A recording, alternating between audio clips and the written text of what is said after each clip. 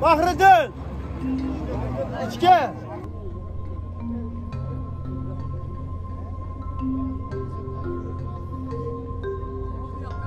Очень трудно. День, деньги не остался, а что квартиру оплатить и что-то покушать вообще не остался. Поэтому ждем, чтобы побыстрее отдали, чтобы уезжать домой.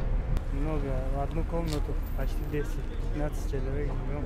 yo dalaga yotibman ақша yo'q tashqariga yotibmiz tomoqqa ақша yo'q nonga yo'q nima qilish kerak yo bir ko'mak beringlar bizlarga bizlar ham bir o'tib ketaylik o'zbekistonga vatanga borib mana ularga aytyapmiz qo'yib yuboring bolalar bor desam eshitmaydi очередь bilan o'tasan deydi deport qilsang ham o'tkiz dedim unga ham ko'nmaydi mana bolamni to'yi bugun kechga hozir o'tkazsam uspet qilaman mana bolam uylanyapti mana shu bolam men bu yerda o'taman yo'qman o'n bir kun bo'ldi shu molda kelganda oyim qochish bo'lgan уже yo'l qo'ymayapti o'tishga kecha obedda uydan janozasini uydan chiqardilar boshqatdilar bu yerdan уже o'tishga majbur bo'ldi nima qilish kerak endi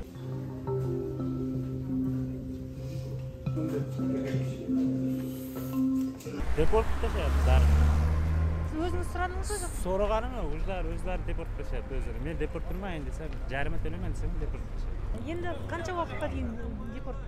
Қазақстанға кірмесін бес жыл бес жыл. Жалпы келісесіз ба сіз? Жоқ. Қарсымын